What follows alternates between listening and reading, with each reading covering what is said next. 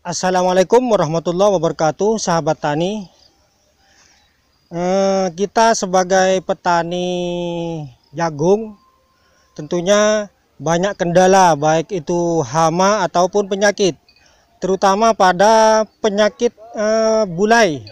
Ini penyakit bulai seakan menjadi momok bagi kita karena ketika tanaman jagung sudah dikena bulai, maka sulit untuk uh, bisa dipelihara sampai bisa berbuah. Karena pengaruh dari uh, bulai ini akan mengakibatkan uh, buah ini buah ini akan gosong ataupun tidak berproduksi dengan baik. Sehingga kita membutuhkan bagaimana perlakuan-perlakuan supaya tidak terkena tidak terkena penyakit bulai. Karena bulai ini dalam radius 100 meter ini bisa menular. Karena itu karena eh, bulai ini berupa spora. Jadi spora ketika apalagi eh, didukung oleh arah angin misalnya arah angin ke selatan. Terus di selatannya ada jagung yang baru tanam sedangkan di sini kena kena bulai. Ini dipastikan eh, jagung yang baru tanam di di daerah selatan ini ini bisa tertular karena dalam radius 100 meter ini bisa menularkan. Karena angin ini bisa membawa spora dan bisa menularkan pada jagung yang baru tanam. Nah untuk itu kita menggunakan perlakuan jakaba. Kita sudah di share di beberapa video sebelumnya saya sudah memberi tutorial cara membuat fuka, fungisida kapur gamping dan e, bagaimana cara membuat jakaba. Nah, dengan perpaduan antara fuka dan jakaba ini bisa e, menanggulangi bisa menanggulangi penyakit bulai. Apalagi kita perlakukan mulai sejak sejak dini, maka ini bisa dicegah. Buk, Jakaba Fuka ini bukan cuma bisa mencegah tapi bisa menyembuhkan. Mari kita ikuti uh, apa yang saya lakukan mengenai perlakuan jagung sejak usia tujuh hari setelah tanam ini di, diperlakukan atau perlakuan ada perlakuan cara penanggulangan bulai. Mari kita ikuti.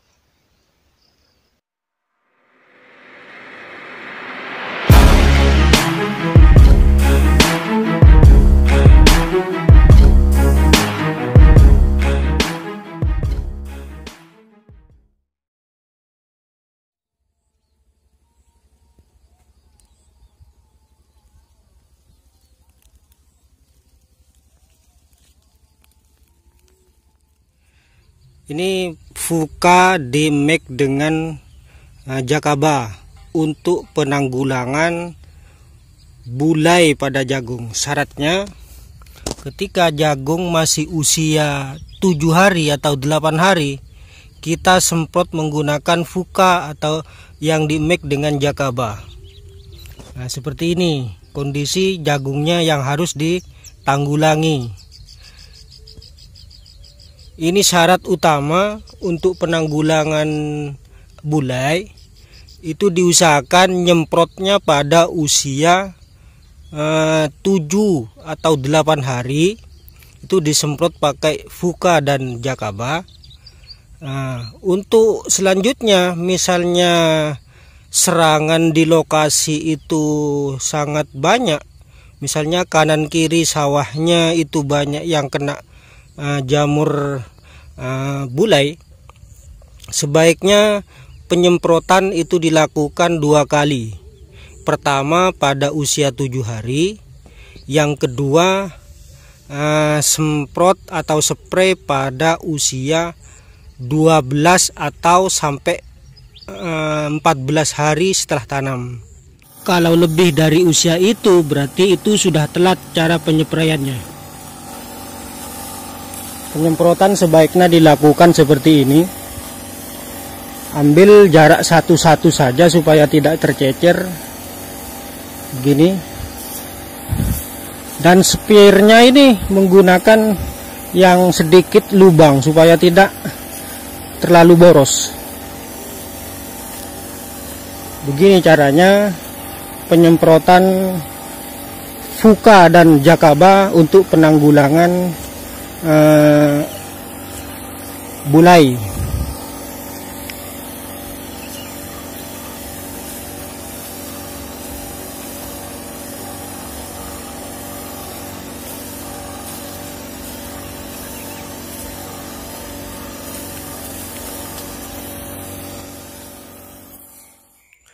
Dengan cara ini juga sebenarnya nggak apa-apa, uh, sedikit boros, tapi kalau obatnya ini membuat sendiri, kita tetap irit.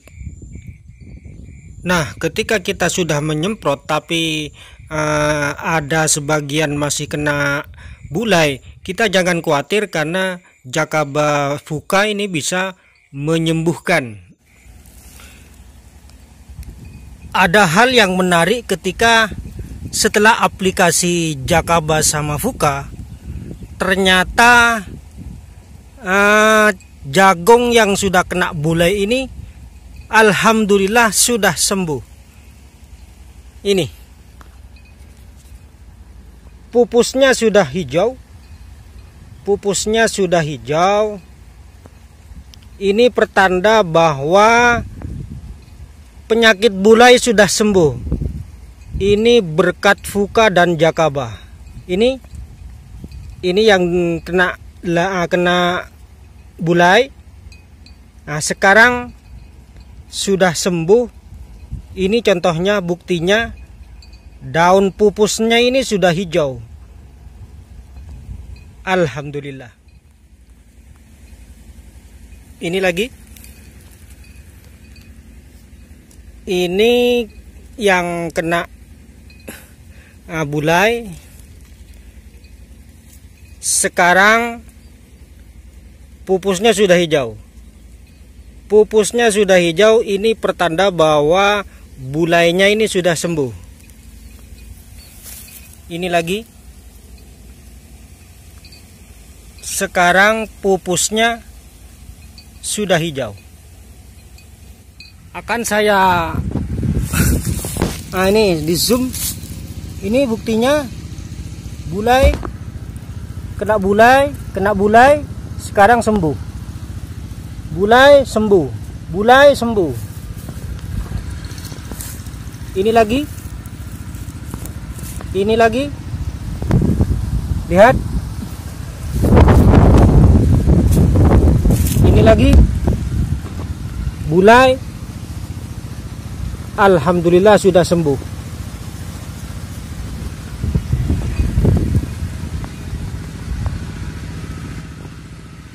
selain kita memperlakukan jakaba atau dan fuka sebaiknya misalnya di dalam di di lokasi Anda misalnya ada di kanan kiri lokasi Anda misalnya sudah banyak terserang uh, bulai misalnya.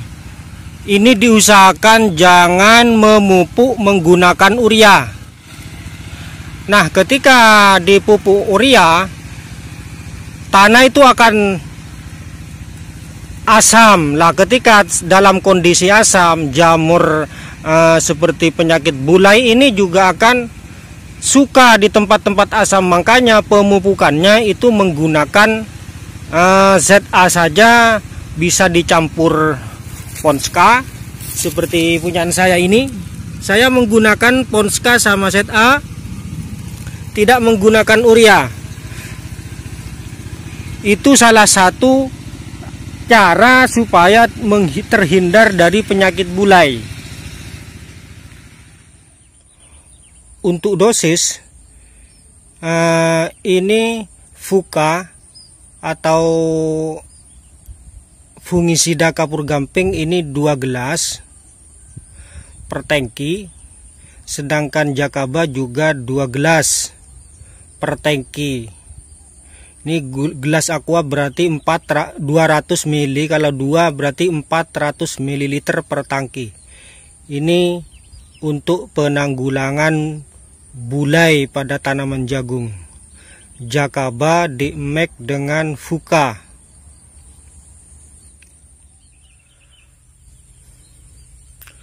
penggunaan Fuka ini saya cairkan uh, seperti ini ini dicairkan menggunakan cairan. Misalnya mau menggunakan kapur gamping ataupun fuka itu yang kental juga bisa. Meng, kalau menggunakan yang kental cukup menggunakan satu sendok per tangki. Ini sudah cukup untuk uh, penanggulangan bulai. Karena tempo dulu saya memberikan tutorial cara menggunakan yang kentalnya. Ini sama-sama bisa menggunakan cara dicairkan seperti ini uh, dengan dosis 2 mm, gelas per tangki atau menggunakan endapannya kapur gampingnya itu dicairkan. Kalau itu menggunakan satu sendok per tangki saja sudah cukup. Terserah mau pilih yang mana. Karena kalau misalnya luasan luasan itu ah lahannya itu luas tentu menggunakan cairan ini agak ribet agak ribet jika dibawa ke sawah. Kalau misalnya mau aplikasi tanaman jagung yang sudah satu hektar atau dua hektar ini sebaiknya menggunakan yang kental saja supaya membawa ke lahan itu tidak ribet. Pakai yang kental saja satu sendok per tangki. Sama saja. Ini saya menggunakan dua cara. Cara yang kental dan cara yang cair.